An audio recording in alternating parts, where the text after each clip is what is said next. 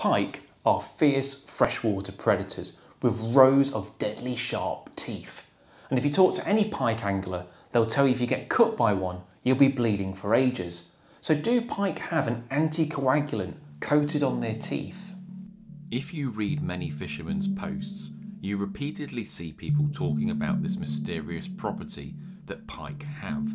But it appears there's no actual research or studies that have confirmed this, and it is in fact bollocks. The most likely reason you appear to bleed a lot when you get cut by pike's tooth is because your hands are normally wet and the blood is mixing with the water, so it looks worse than it actually is. The teeth are very sharp and have several rows of them, so if you do get cut by their teeth when unhooking, it's likely to be a deep and jagged cut, which will bleed longer.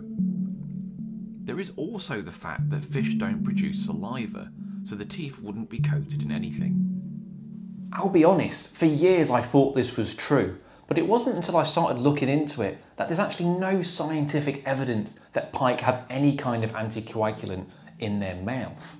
When you think about it, what would be the biological reason for pike having an anticoagulant?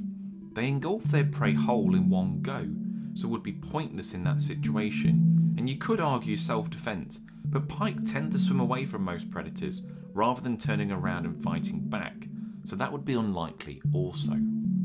The fact is, pike don't need anticoagulant. When they grab a fish, it ain't going nowhere. Thanks for watching, and I'll see you in the next one. Have you got a fish myth that you'd like me to debunk or talk about? Comment down below. Cheers.